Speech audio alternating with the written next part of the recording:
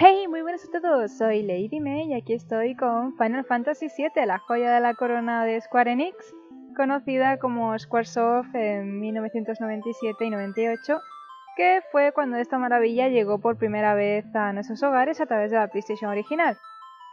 Y bueno, he de decir que primeramente no me llamó en absoluto la atención este juego. A mí me regalaron mi querido Spiro y estaba que no me lo podía creer de lo colorido que era y Final Fantasy VII fue un regalo para mi hermana mayor. De hecho, eh, recuerdo con mucho cariño una tarde de invierno en el que mi hermana estaba jugando, combatiendo contra una especie de escorpión metálico gigante y pensé, qué aburrido.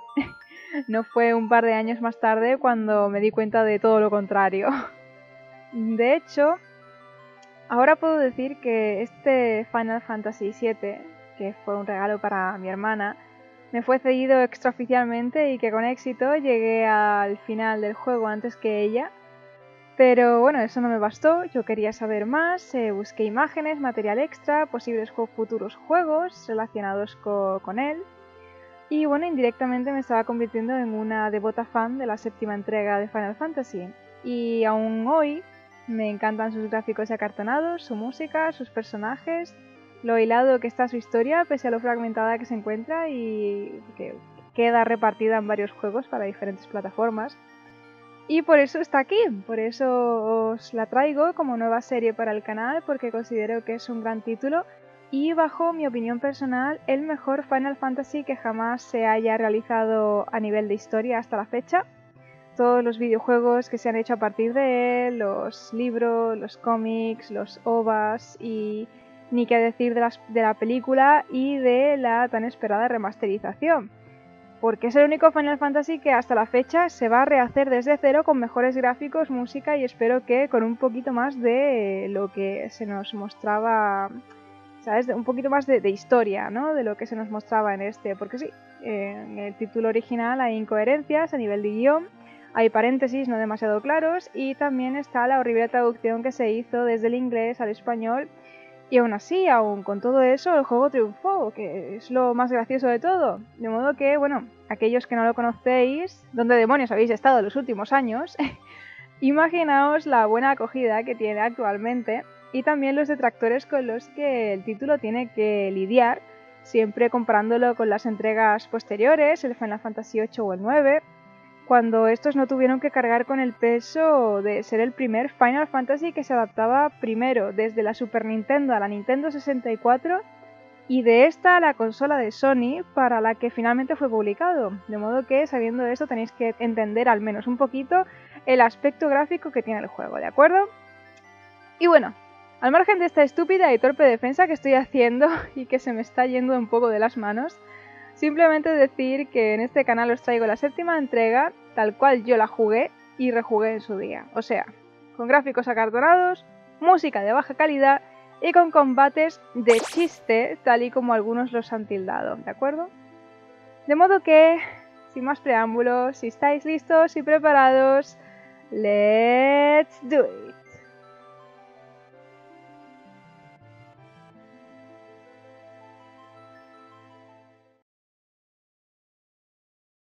Bueno, pues vamos a empezar un juego nuevo.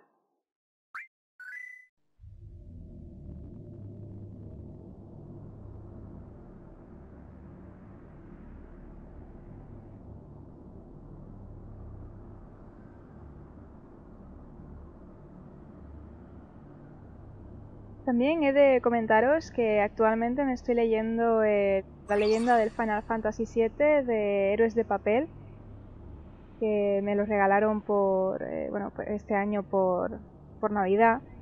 Y, bueno, voy a comentaros así unas cosillas, no sé, entre mi opinión personal del juego y de lo que yo creo que, que es lo que los creadores querían.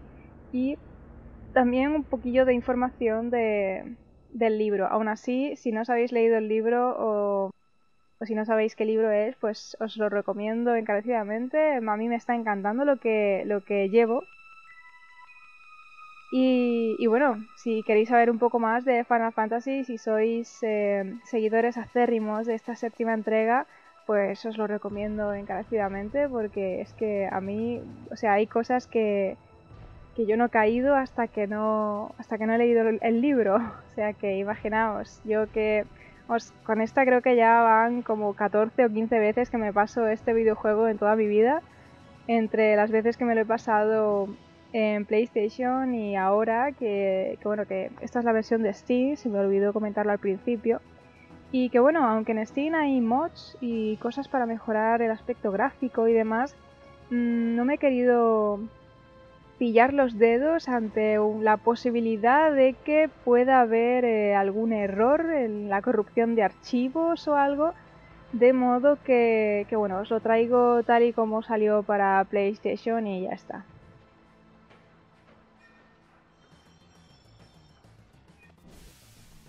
Bien.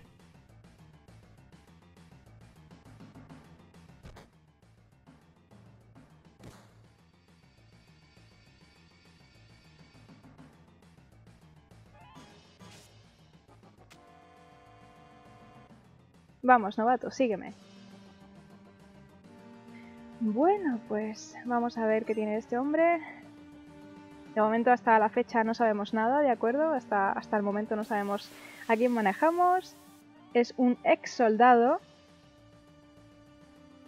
Que bueno que pertenecía a la misma, a la misma rama que, que estos a los que nos estamos enfrentando. Y bueno, eh, joder, anda que empezamos bien con un, con un, con un fallo en el primer ataque, estupendo.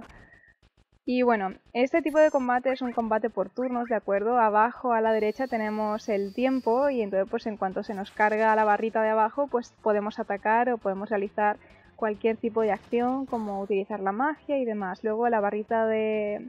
que está en el lateral es la barrita de límite, que es como una especie de ataque súper especial y súper fuerte que bueno, se va rellenando a medida que nos van haciendo daño.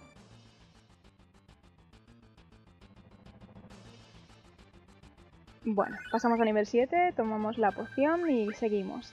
Lo que más llama la atención es eh, del personaje es la espada, ¿no? La pedazo de espada que tiene, que esa espada como que ya tiene, ya tiene un, un recorrido, ¿no? Bueno, ¿alguien me habla? ¿Hello? Hola. Vale, aquí. ¡Eh! Tú eras uno de los de soldado, ¿no? No todos los días te encuentras con uno de ellos en un grupo como Avalancha.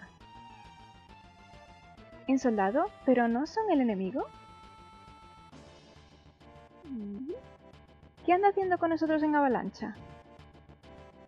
Calma, Jesse. Estuvo en soldado. Los abandonó y ahora es uno de los nuestros. No me enteré del nombre. Pues nos llamamos Cloud ver, Cloud. Cloud, ¿eh? Soy... Me da igual cómo os llaméis. En cuanto acabe ese trabajo, me largo de aquí. ¿Qué diablos estáis haciendo? Ya os he dicho que jamás avancéis en grupo. Nuestro objetivo es el reactor Mako del Norte. Nos reuniremos en el puente que se halla enfrente. Recibido, boss. Así que, ex soldado, ¿eh? No me fío de ti. Bien, pues este es Barret. Vale, pulsa el botón de dirección más el de cancelar para escapar, bueno, para correr. y ese es nuestro objetivo. El reactor Mako. Y de momento... A ver, por aquí no hay nada. De momento solo sabemos que este chico es un miembro de soldado. Bueno, era un miembro de soldado. Y y que bueno, que ya no está con ellos. Los soldados pues son, son como esta como una especie de élite militar que trabajaba para Shinra, bueno, que trabaja para Shinra y él pues ya, ya no trabaja para ellos, no sabemos absolutamente nada más. Y yo no voy a decir nada. Y bueno, con respecto al tema este de los combates, eh, voy a ir cortando, ¿de acuerdo? Para que el vídeo no se me alargue demasiado entre estos combates que bueno, que son transitorios y que vienen bien para subir de nivel y conseguir objetitos, pero que realmente no tiene... No es por esto por lo que yo he venido aquí a subir el gameplay, digo yo. Solo lo he subido por el tema este de, de, en fin, de daros a conocer la historia de Final Fantasy a aquellos que no habéis jugado o que no os decidís a jugar por los gráficos. Ya veis que a mí no me, no me hace daño a la vista jugarlo. Bien, vamos a ver. Aseguraré la ruta de escape. Concéntrate en la misión, Cloud. Santo Dios, ¿realmente vamos a volar este, este gran horno? Será digno de verse. Bien, pues vamos por aquí. Bien, eh, vamos a ver qué equipo tenemos. Espada mortal, que no la puedo cambiar, y aro de bronce. Bueno, pues... Eh, elementos... Solo tenemos una poción que voy a utilizar y ordenamos y ya está. Tampoco tenemos demasiada cosa aquí al principio. Vamos a ver. Tío, ¿es la primera vez que te enfrentas con un reactor? No, a fin de cuentas estuve trabajando para Sinra, ya sabes. El planeta rebosa con energía de Mako, la gente la utiliza diariamente aquí. Y... Es la sangre vital de este planeta, pero Shinra no deja de chuparle la sangre. No necesito que me des una charla, démonos prisa. Se acabó. De ahora en adelante, venís conmigo. Bueno, vienes conmigo.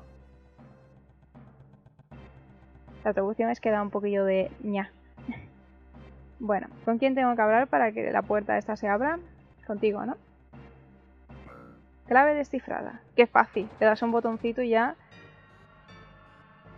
Bien, pues al parecer Avalancha es como una especie de grupo terrorista, ¿de acuerdo? Aunque no es ni la sombra de lo que se supone que era antaño. Porque el grupo Avalancha no, es, no son estos tres o cuatro miembros los que, los que la conforman, sino que... Vale, sí, sí, puse ese botón de allí, ya lo sé, cariño.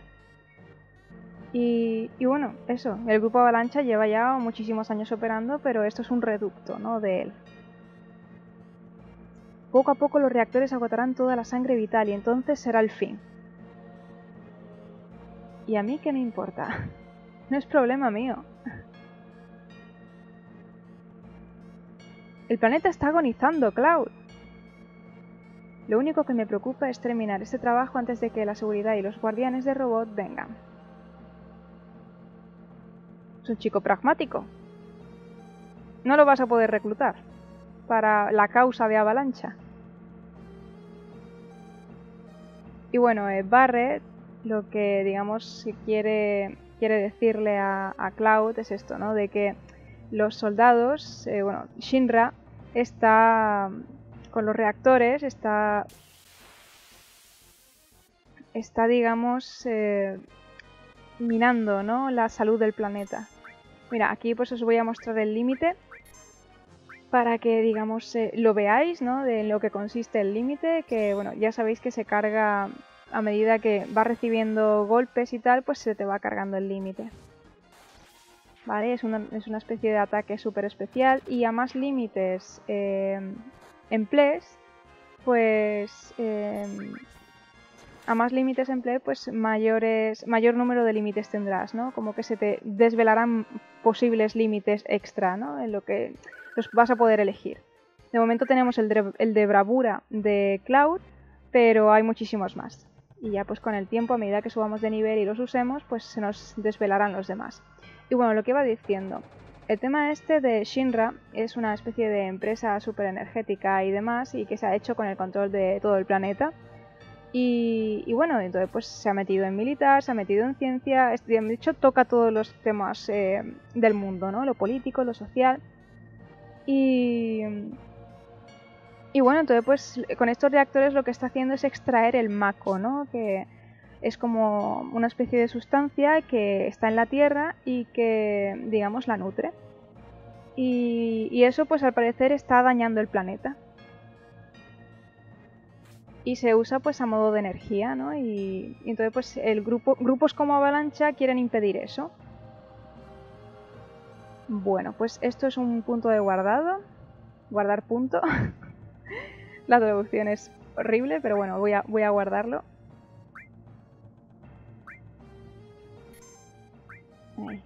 Muy bien.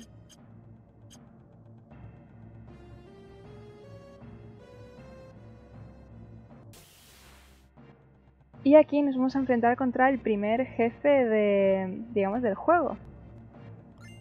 Materia recuperar.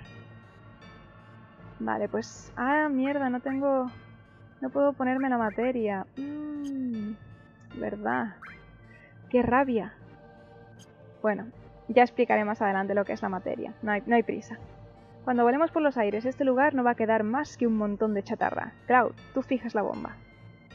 ¿No deberías hacerlo tú? Calle y hazlo, idiota. Tengo que vigilar y asegurarme de que no los tropees. Bien, que te aproveche. pues a él le pasa algo y dice cuidado, es algo más que un reactor. ¿Qué sucede? ¿Eh? ¿Qué sucede, Cloud? Date prisa. Vale, lo siento.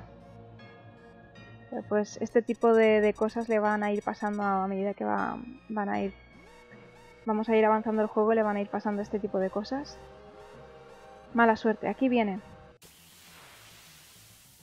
Vale, y este pues es el primer, digamos, jefe que lo mencioné al principio, ¿de acuerdo? Y bueno, y como es una máquina, pues le va a afectar bastante que le dé con el, con el hechizo rayo. Que bueno, que este ya lo mencioné al principio, este es el primer combate que le vi jugar a mi hermana.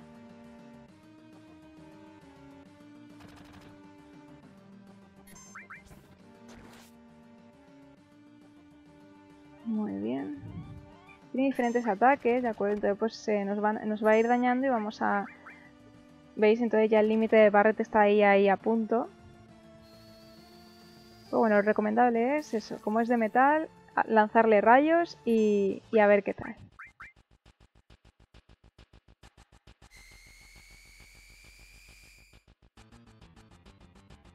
Vale, bueno, con eso es como que nos escanea para, para atacarnos.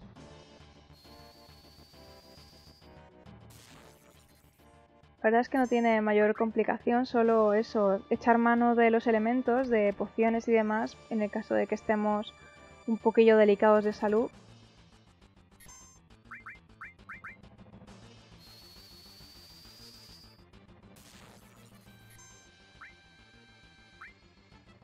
Oh, fuck. Debí haberme esperado un poco. Dice Barret, Dequin, cuidado. No ataques mientras la cola esté arriba. Va a contraatacar con el láser. Encima te lo, te lo dice y el tío en plan, ah, anda a tomar por culo. Y cabrón, si es que te lo he dicho. vale, entonces pues...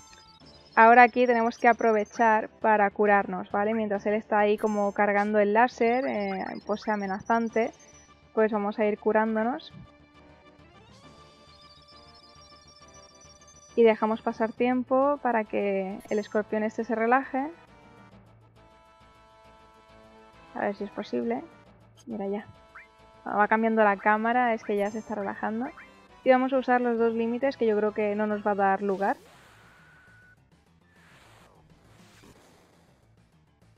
O quizás sí, porque realmente no sé cuántos golpes le, voy le llevo ya. Ah, pues no, mira, he usado los dos y todavía no, he acabado con él. Qué cosa más curiosa.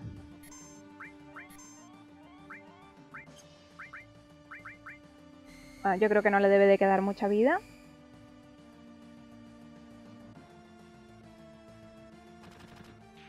Mira, ya está. Ah, por cierto, tema de música. Eh, el compositor de toda, de toda esta de toda esta séptima entrega es eh, Nobuo Uematsu, un maestro en lo que vendría siendo composición. Ya lo iréis viendo. Y para comprobarlo dice, venga, vámonos de aquí. Vale, pues ahora tenemos un tiempo límite, es 10 minutos para detonar, son 10 minutos reales y vamos a tener que lidiar también con, con combates, así que es mejor irse rapidito. Le voy a guardar. Ya he perdido un minuto en ese combate. Vamos a guardar ya está. Y aquí la velocidad es clave.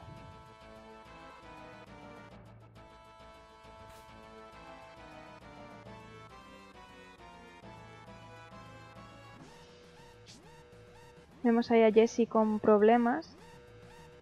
Realmente nunca sé lo que pasa si la dejas ahí atrás. Vamos a ayudarla. ¿Te encuentras bien? Mi pierna quedó atrapada. Gracias. Bien, y ahora nos vamos, la seguimos a ella.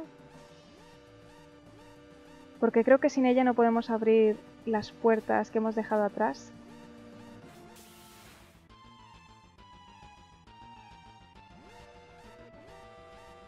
Bueno, nos da, nos da tiempo, ¿eh? Nos da tiempo a, a llegar.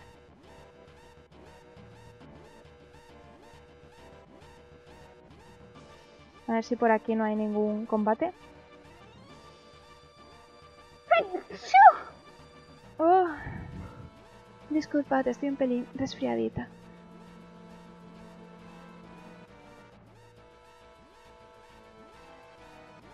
Vamos a ver, Jessie, abre la puerta, clave descifrada.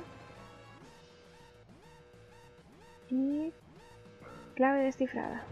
Vale, cada uno tiene una puerta y creo que si dejas a Jessie atrás tienes que volver, ir, en fin. Vale, ya estamos aquí.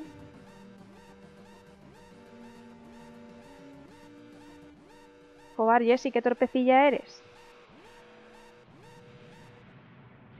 Vale, ya nos hemos cargado el reactor.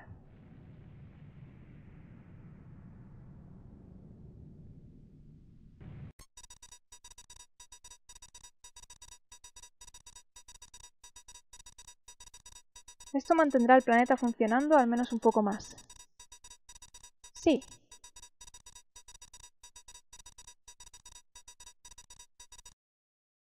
De acuerdo, ahora todos a volver.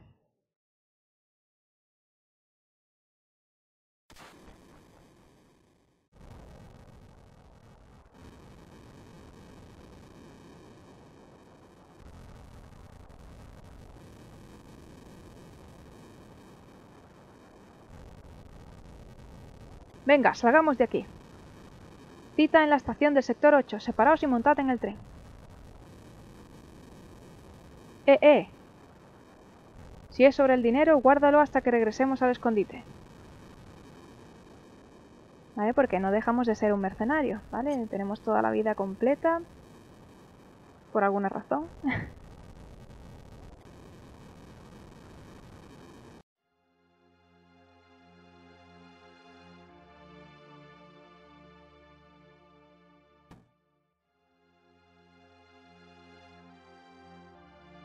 que todo el caos se ha desalmado por aquí. dice, perdóname.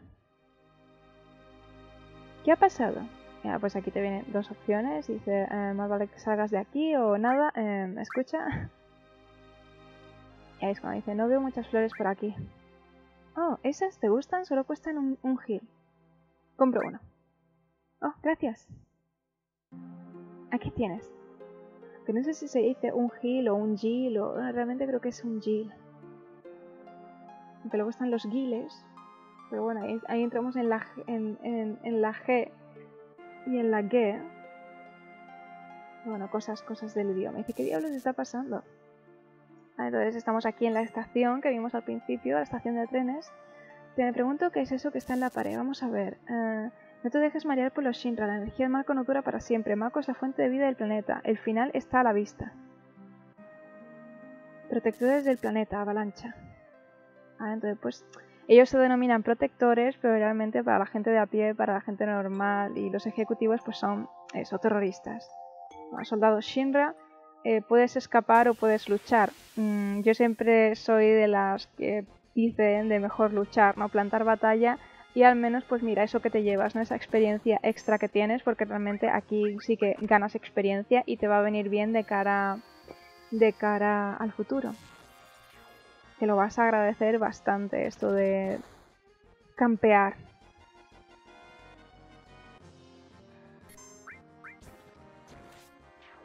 Y, aparte es que son enfrentamientos muy, muy cortitos, muy pequeñitos, que con un sablazo de, de Cloud te los quitas de en medio. A ver, pero vienen más. Aquí vienen más. Y bueno, ya cada vez son, es mayor el número de, enemigos aquí.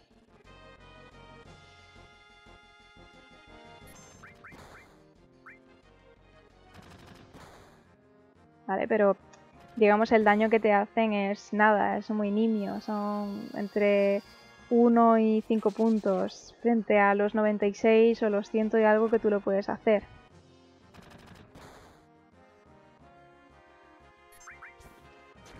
Y eso, que simplemente te tienes que esperar a que la barra de tiempo se llene para, para atacar. Y mientras ellos te van atacando y se te va rellenando poco a poco eh, la barra del límite. Que ya ves tú, tampoco, tampoco es para tanto. Habrá enfrentamientos que sí que serán mucho más eh, complicados cuando ya se metan lo que vendría siendo los eh, estados alterados de veneno, ceguera y toda esta mierda. Pero, pero de momento todo, todo está bien porque al fin y al cabo es el principio. Pero aquí pues te vienen digamos las diferentes modalidades de combate, que es bueno que te puedes encontrar a los, a los enemigos por delante, pero que también te, los puedes encontrar a ambos lados. pues es un tipo de combate diferente que se te puede se te puede complicar. Luego también te pueden sorprender por detrás. Que eso no lo puedes controlar tú, eso es independiente del juego. Y bueno, pero es una probabilidad muy escasa que te, que te encuentres. Muy bien, creo que ya este es el último combate.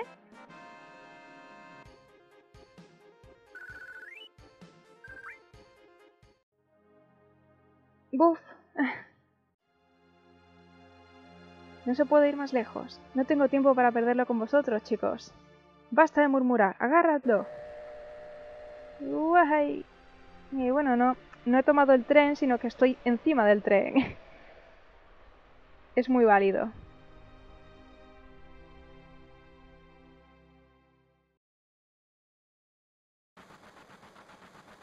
Ah, entonces pues ellos ya están en el tren. Dice, Cloud no ha aparecido.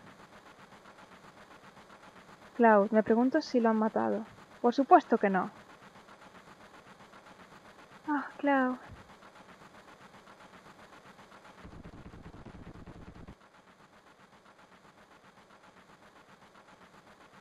Dime, ¿crees que Cloud voy a luchar hasta el final por avalancha?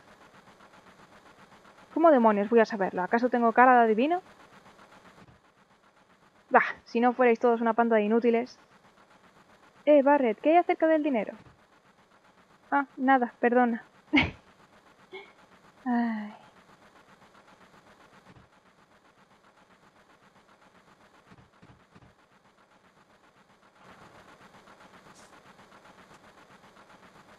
¡Cloud! Aquí haciendo el numerito. Parece que llego un poco tarde. Tienes toda la razón, llegas tarde. Te presentas aquí como si no pasara nada y nos montas la escena no me supone un gran problema, es lo que suelo hacer siempre. ¡Maldición! Tienes todo el mundo muy preocupado y solo te preocupas por ti mismo. ¿Y? Hmm, ¿Estabas preocupado, ¿Estabais preocupados por mí? ¿Qué? Voy a sacar tu dinero, está caliente. Nunca entenderé este tipo de traducción. Dice, levantaos, nos marchamos, seguidme. Ah, Cloud, has estado fenomenal. Chloe, la próxima vez daremos muchísimo mejor. Vale, que están como un poco, son un poco novatillos en esto de hacer, de hacer de terroristas. Dice, oh, Chloe, tienes la cara completamente negra. Ya está. Oye, gracias por ayudarme antes en el reactor. Dos veces, Jessie, dos veces. Bueno, a ver si por aquí hay algo. Mm, no, no parece que haya nada. Bueno, pues nos vamos. Último tren procedente de la estación del sector 8. La última parada es el sector 7, cementerio de trenes. La hora de llegada estimada son las 12.23 am, hora Midgard.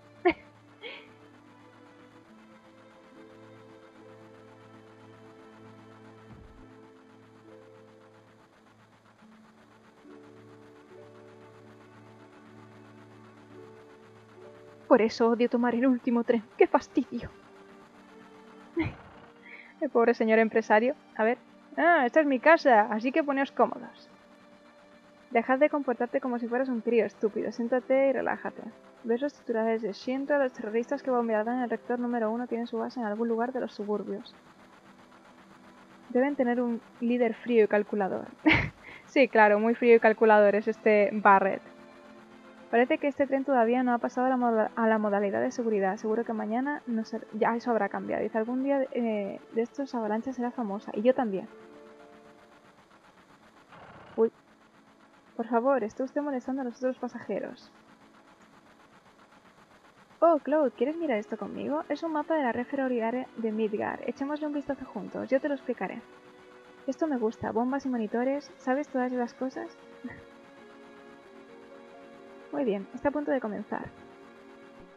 ¡Oh, Dios mío! Este es un modelo completo de la ciudad de Midgar. Está en 4K. La placa superior está aproximadamente a 50 metros de la superficie. Una estructura principal de soporte mantiene la placa en el centro y hay otras estructuras de soporte para cada sección. El reactor número 1 que hicimos explotar estaba en la sección norte. Estamos, entonces queda el número 2, el 3 y así hasta el reactor número 8. Los ocho reactores suministran energía. Cada ciudad tiene un nombre, pero nadie en Midgar los recuerda. En vez de, los nombres, nos referimos a ellos por sectores numerados. Así es como trabajamos aquí. ese es el siguiente, mira. Ese es el camino que sigue el tren. El camino serpentea alrededor de la estructura de soporte principal. Deberíamos estar acercándonos al área del centro ahora. En cada puesto de control hay establecido un dispositivo sensor de ID, Puede comprobar la identidad y pasado de cada, y pasado de cada pasajero en este tren, conectándolo al banco de datos central, en las oficinas, en las oficinas centrales de Shinra. Cualquiera podría pensar que tenemos pinta sospechosa, por eso usamos tarjetas de identidad falsa. Uy. Hablando del rey de Roma. Nos encontramos en el área de seguridad de comprobación, de tarjetas de identidad. Cuando se apagan las luces es imposible saber con qué clase de tipo raro se puede encontrar uno. Bueno, ya casi estamos de vuelta. Mira, ahora puedes ver, la, puedes ver la superficie. Si esa placa no estuviera ahí podríamos ver el cielo. Una ciudad flotante, un paisaje bastante perturbador. ¿Eh? Nunca pensé que oiría algo así de alguien como tú. Vaya, parece que eres una caja de sorpresas. El mundo superior, una ciudad en una placa. Es por esa puta pizza que sufre la gente que está, que está aquí abajo. La traducción, la traducción, ya os lo dije. La ciudad ahí abajo está asfixiada a causa del aire contaminado. Además, el reactor continúa absorbiendo toda la energía. ¿Y por qué no se mudan todos a la placa? No lo sé, seguramente porque no tienen dinero, o quizá porque aman su tierra sin importarles lo contaminada que esté. Ya sé, nadie vive en los suburbios porque quiera. Como este tren solo puede ir por donde le lleven los, los raíles.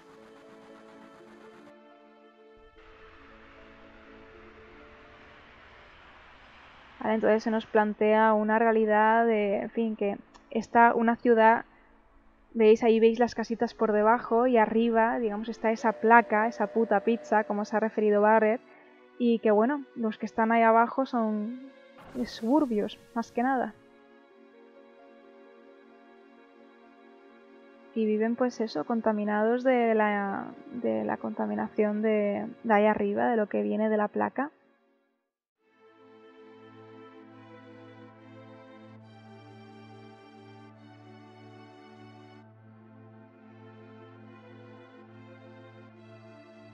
Bueno. Vosotros, venid ahora mismo. ¿Yo también? Venga, voy yo también.